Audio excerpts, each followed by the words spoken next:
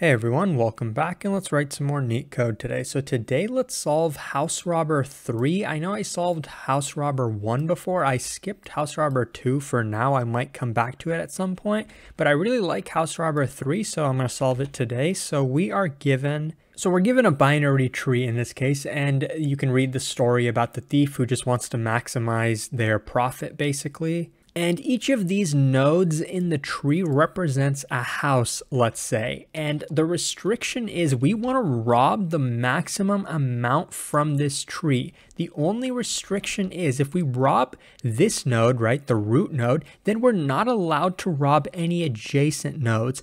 Notice how we have two adjacent nodes, right? Basically, this one's children, right? So if we rob this, we're not allowed to rob these two, right? But we're definitely allowed to rob these two because they're not adjacent. By adjacent, we basically mean that there's an edge connecting them, right? So since there's no edge connecting this three with this three, we can rob both of them. And we can also rob this one. We can't rob these two. If we rob it like this, we get a profit of seven. Now, what's our other choice? Well, if we if we skip this house, right, we don't rob this house, we're definitely allowed to rob this and we're definitely allowed to rob this, but then we can't rob these two children, right? So then we get a profit of five. Clearly, the other way with a profit of seven is the greatest, so that's the way we're gonna rob it. You can see that that's what they explained to us in the explanation. So our, so our output is going to be seven. That's the max amount we can rob without robbing adjacent houses. Now let's look at a different example. Now with the solution to this problem, you can really get bogged down in like the details of, okay, if I rob this, then I got to skip these two, right? And I can, I'm allowed to rob this. And there's a lot of ways to brute force this problem. There's a lot of ways to have conditions and edge cases, but let's look at look, let's look at a simple way to analyze this problem. Basically, we have two cases, right? One case, one case is where we include the root so I'm going to call that case with root. So we have two cases. One is with root. So basically, we're trying to rob the max amount from this tree. One case is we include the root. So we're definitely including this root. Now, how does that affect the way we can rob the rest of the tree? Basically, it tells us we have to skip this node and we have to skip this node. We, we have no other restrictions. Those are the only restrictions if we decide that we want to include this root. So that's one way we can rob it, right? One case is we include this root, and that affects how we can rob the rest of the tree. The second case we have is without the root. So that's our second and last case. We only have two cases. So the case means that we are going to rob the max amount from this tree where we definitely do not include this node. We're skipping this node. What how does that affect the way we can rob the rest of the tree? Well, there's no restrictions now, right? We can just take the max amount from this tree and the max amount from this tree. We're, we, we're not required to skip these two nodes anymore, right? We have no restrictions now. Now, we can decide to skip this node, right? We can decide to skip it or we can uh, we can keep it or we can skip it, right? We have no restrictions. There are some cases where even though we skipped this node, we might still want to skip this node to maximize the profit because look at this. This is a 100. I can either rob this house and skip this, or I can rob this house and skip that, right? But the, the main thing is when we go without the root, where we do not include this root, we are in charge. We have, we can make those choices. With that being said, the solution to this problem is a depth first search solution which runs O of n time, meaning we only have to visit every single node at most one time, right? So that's pretty efficient, but the only difficulty is that there are going to be some modifications we have to make to this depth first search. Specifically, that we, for each node here, right, we're going to be returning a pair of values, right? We're going to be returning two values, right? And those two values are going to be for, let's say, this subtree. What's the max profit we can get with the root, including this node? What's the max profit we can get without the root, basically not including this node? Right? And so we're going to be returning that pair of values up and up until we get to the root, where then we will basically have our result, right? We'll have, once we get to the root, we'll have two values, A and B, one that has the max we can get with the root, one that has the max we can get without the root, and then we're basically going to return the maximum of these two values, right? Whatever happens to be the scenario where we can rob the maximum amount. That's going to be the result that we return, and we can do that in linear time. So first, we're going to start at the root like any other depth first search. We want our pair of values, right? But before we can get that, we're going to call depth first search on the left child, right? And of course, depth first search on the right child. This is going to be post order traversal, basically. So Let's run depth first search on here. To do that, we need to run depth first search on its children, right? Now you can see that the right child is null, right? It's empty. So what's going to be the maximum we can rob with and without root for a null tree? Well, just zero, zero, right? That's pretty basic, right? For an empty tree, we can't rob anything. It's going to be zero, zero. Okay, so let's look at this node now, right? The, the another base case. Now it doesn't have any children, right? So we can say that those are zero, zero as well. So but that's not so important because this is basically the base case as well, right? So what's going to be the max we can rob including this node, including this 100, right? That's the first value, remember? So that's going to be 100 in our pair, right? If we include this and then you know, we don't have any subtrees, we can get 100. Now, what's the max we can do without this node? If we decide not to rob from here, well, we'd get zero. Now, there's probably not any reason we'd want to do that, but this is important. So now we have the pair of values from here that we're going to return up to this node, and we have the pair of values from here that we're going to return up to this node as well. Okay, so next let's look at this node, right? So now we've called our way up back to this node, so we want the pair of values for this node. So first let's get with root. How can we compute that? Well, we're gonna take this value, right? So with root, for that node 20, right, we're gonna take its own value, right, so 20 plus, we want the we want the maximum from its left subtree, right? But not including the 100, right? Because remember, if we rob this 20, right, we're not allowed to rob its direct child. So what's the max we can rob from this subtree where we don't include 100? Well, you can see that value is right here, right? Remember, the second value represents without root. So that value is just zero, so we add zero. Exact The exact same is true for its right subtree, which is just an empty subtree, right? So zero, right? We're taking the value 20 and adding the maximum from its left and right subtree where they do not include the roots, meaning they do not include the direct children. So we total this up and we just get 20, right? So that makes sense, right? When you look at the picture, so we're going to put a 20 here because when you take a look at this entire subtree, right, if we included this node 20, the max we could rob then is 20 because we're not allowed to rob any of its children. Basically, what's the max we could do without the root? Meaning if we decided not to include this 20, what's the max we could do then?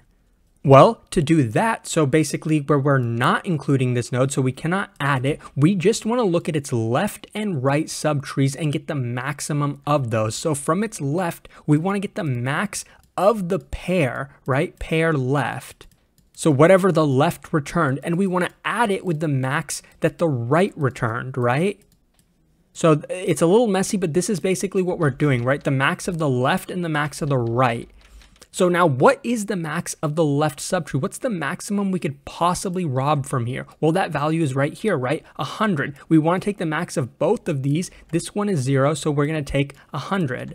And what about the right subtree? Well, that's just an empty subtree, so the only thing we can get from that is zero. So basically, when you total this up, you get 100. What that means is we can put 100 here for the second value because for this node, right, for this entire subtree, what we're trying to say is if we do not include the root, without the root, we don't include this 20, what's the max we could rob from this entire tree? Well, it's only 100, right? Okay, so now basically what we've done is we've gotten these two so now that we've computed basically what we wanted for this tree, we're almost ready to handle the root case, which we want to do, but let's start with this right subtree first, right? So we want to compute a pair of values for here, right? But to do that, let's look at its children. So its left subtree is empty, what that's going to end up returning is just a pair of 0, 0. What about its right subtree? Well, we're going to do the same thing we did before. If we decide to include this root, clearly we don't have any subtree, so the max we could get with that, so the first value in the pair is going to be 1, right? With root is going to be 1. Without the root, if we do not include this root, what's the max we could rob from this subtree? Well, it would be 0, right? Because it doesn't even have any children. So now let's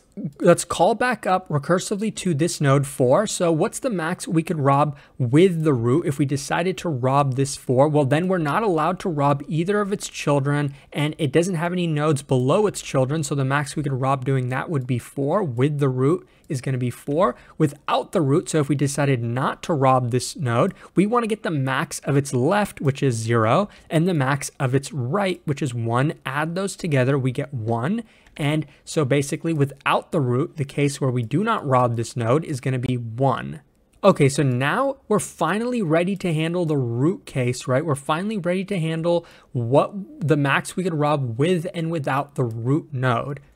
Because we have this part and we have this part. So how do we compute with root? Okay, with root means we're including this node, right? So we're going to take 3 plus right? So we're inc including this node, and then we want the maximum of the left subtree, not including 20, right? But luckily for us, we already computed that in this value, right? So the max of the left subtree without including its direct left child is 100, right? So that's the left portion, right? What we're saying is we're robbing this, skipping this, and then robbing this 100, right?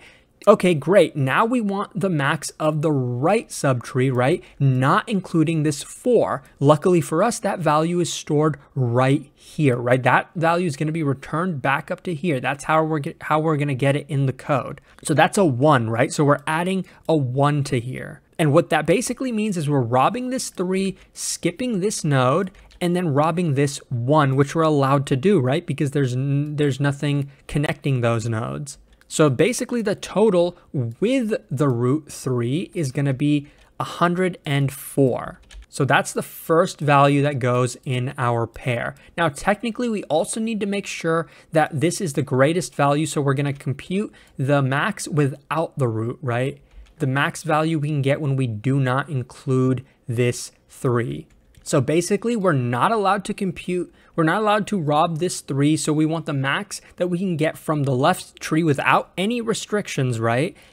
Which what we're going to do is take a look at this this pair of values. What's the max of them? It's not 20, the max is 100, right? So then to our result, we're going to take 100, right? Now we want the same thing from the right subtree, right? There's no restrictions, right? So we're taking a look at this pair of values, 4 and 1. Which one of them is greater? Well, it's 4, right? So basically what I'm saying is, we're even though we skipped this node, the root node, we're also skipping this because if we skip this, it allows us to rob rob this node, we're, we're also going to be robbing this and skipping this one. So I'm taking 104 and adding them together, I'm getting 104. So I'm going to put 104 over here. So look how both of these values are 104. What that tells us is if we include the root with the root, there's a way we can, the max we can rob is 104, right? And what does that look like? It's this plus this plus this, right?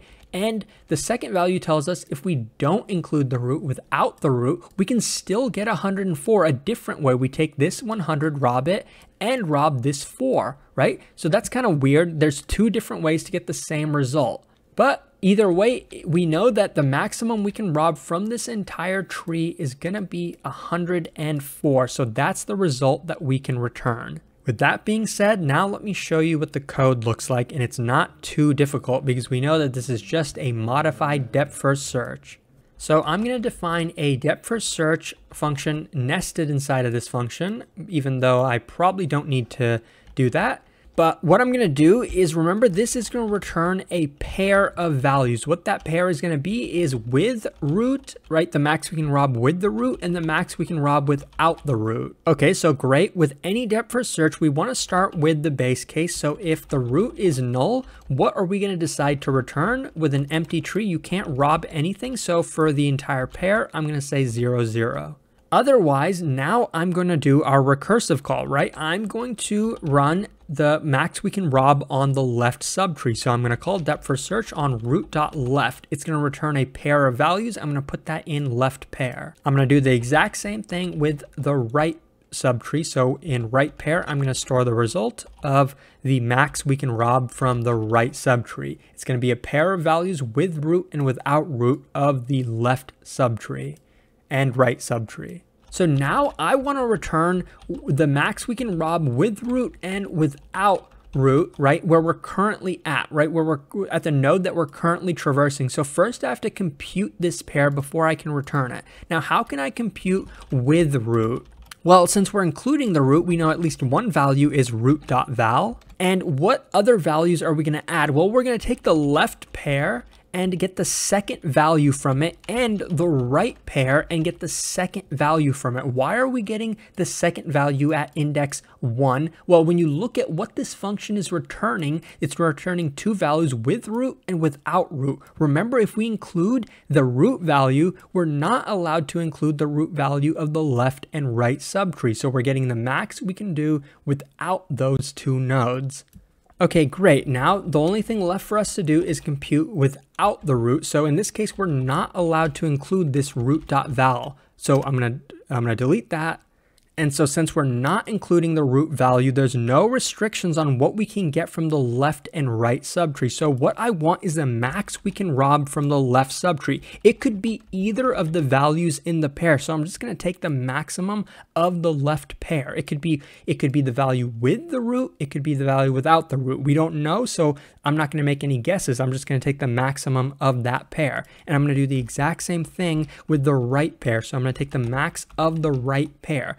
This, this computation is actually giving us what the max we can rob without the current node that we're at. It's as easy as this. And the reason it's so easy, right, I'm making it look easy, is because we modified our depth first search not to return one value, but it's returning a pair of values. That's really the key here. We're returning two values. That makes it so easy for us. So now we're actually done with our function. We computed these two values and returned these two values. Now all we have to do is call our depth first search function, passing in the root right? But we know even this depth first search call is going to return two values. And we want the max of those two values because we want the max that we can rob from this tree. So once I compute that max, then all I have to do is return it. We're returning a single value here. So when you take a look, it's a very efficient algorithm.